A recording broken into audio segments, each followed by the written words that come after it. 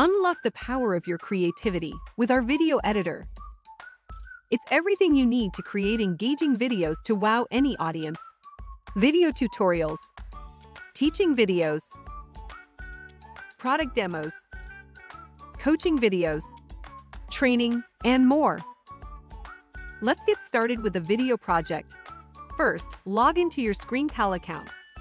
After logging in, click this icon to open the video editor.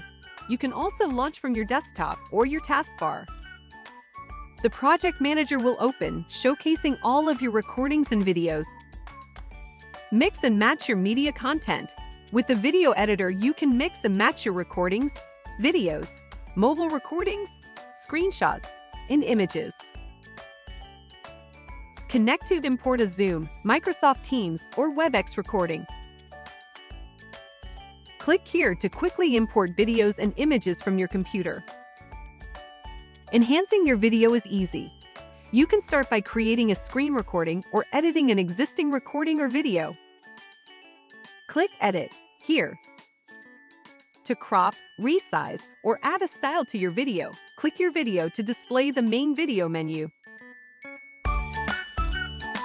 Under Canvas, you can see and change the size of your video. You can also change the background color of your canvas by clicking this dot. There are plenty of audio options for you to use. Record your own narration or import an audio file to add a voiceover to your video.